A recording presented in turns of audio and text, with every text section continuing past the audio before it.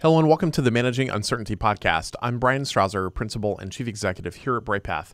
And in episode 259, I want to talk about the heightened expectations that Chief Information Security Officers are having to deal with in their jobs today.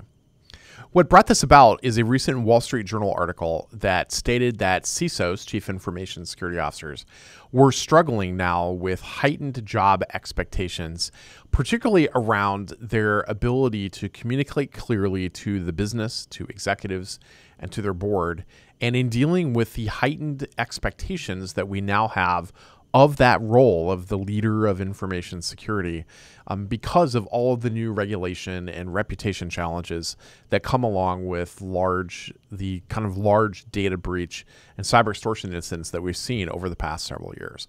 So I want to talk about 10 ways in which cybersecurity leaders are struggling today with these expectations and some suggestions about how CISOs can address those challenges. The first one is that there is just now much more accountability for the CISO role. Leaders are now being held accountable for breaches and security incidents. In some cases, they are being held personally, civilly, and, and criminally accountable um, in in these situations. And boards and customers on the other end of the equation have a lot less tolerance for this than they might have had even just a few years ago. The solution here, if there is such a solution, other than not have a data breach uh, and be prepared for that data breach to happen, um, is to really look at um, transparent reporting to business leaders across the organization and what your communication strategy is on how you're communicating internally around the risks and the threats and the actions you are taking to mitigate against those risks and threats. The second is that there is a lot of pressure on the CISO role to align security with business, uh, the objectives of your business, without ever hindering the operations of the business. Um, this is a really tough line to walk. Um, it requires regular dialogue with business units and your senior executives to ensure that you're aligning roles. It also requires that you be very candid as a CISO about the risks and threats that you're facing and how this does or does not impact the organization. The third is just this rapidly evolving threat landscape that we're in. Um, we see constantly changing threats that require up to the date knowledge and quick adaptation by the information security team. Um, this requires good threat intelligence, whether you're doing this in house or you're using a third party, but it also requires that you're investing in continuous training so that your team is prepared to manage that evolving threat landscape. Number four is board level communication. That, and this was really at the at the core of the Wall Street Journal's article, that CISOs were having difficulty in conveying technical risks in clear business terms to their senior executives and to the board. Uh, this is hard. Uh, we see this in the resilience fields with the difficulty in speaking clearly and candidly to senior leaders about your risks and threats from a business continuity or crisis management perspective. The solution here is to practice, and it is to use clear, concise, business impact focused language. You can get into the technical details where, where, necessary, but you have to explain this in business terms. There is no other way for your board to listen to. Number five are just resource constraints. We are all resource constrained, but limited budgets and personnel, limited amount of personnel, despite increasing responsibilities, will require some unique ways to think through the resource challenges you're faced with.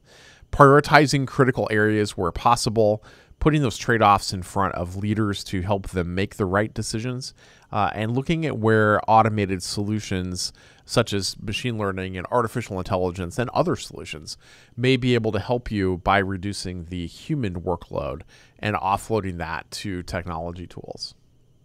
Number six is regulatory compliance. Uh, there are a whole new set of diverse and evolving regulatory requirements around uh, data and privacy and information security. The solution here is to implement robust compliance management and be able to stay on top of all of those controls. There are systems on the market that help you with this, but you can do this with a lot of the existing tools in the GRC space like ServiceNow and Fusion and others as well.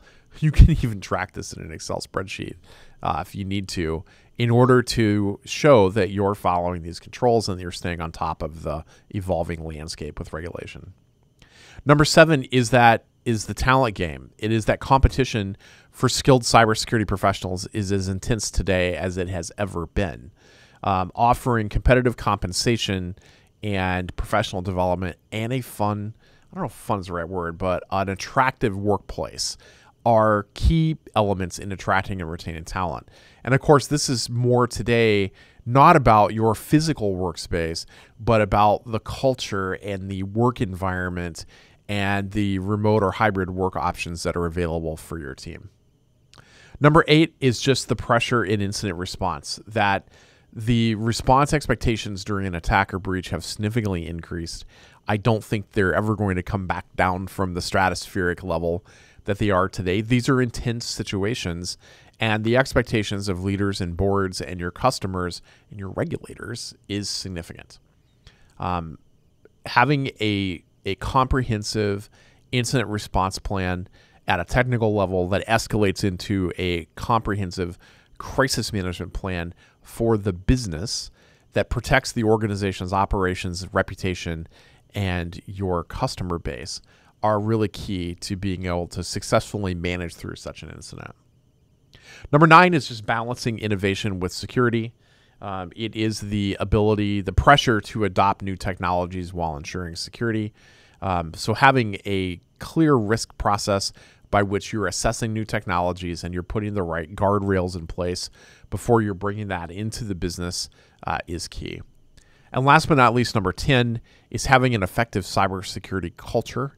Um, building a security aware culture within your organization is critical.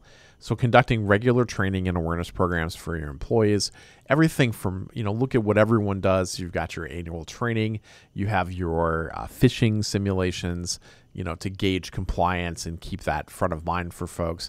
But it goes beyond that to what's your broader cybersecurity culture and have you put the right things in place around that. So these are 10 areas in which we think cybersecurity leaders or CISOs are really struggling today uh, with heightened expectations and a few suggestions on how they can improve. That's it for this edition of the Managing Uncertainty podcast. I'll be back next week with another new episode. Be well. Thanks for watching our video. To learn more about how to manage uncertainty and disruption in your organization, be sure to like, follow, and subscribe to our video channel. And here are a few more videos that we've selected that will help you learn more about business continuity crisis management, and crisis communications.